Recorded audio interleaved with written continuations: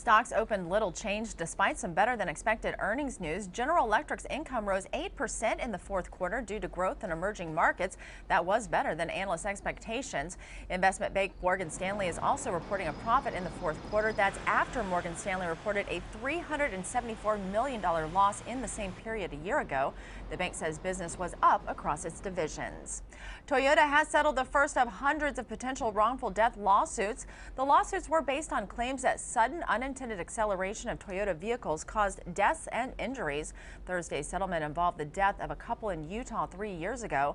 Their Toyota Camry slammed into a wall. Terms of the settlement were not disclosed.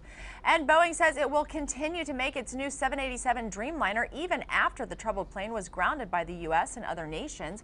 At least two were found to have battery problems. The grounding is indefinite. 50 Dreamliners are in service around the world, including six United Airlines planes. That's your Money Watch. For more, stay with CBSMoneyWatch.com. In New York, I'm Ashley Morrison.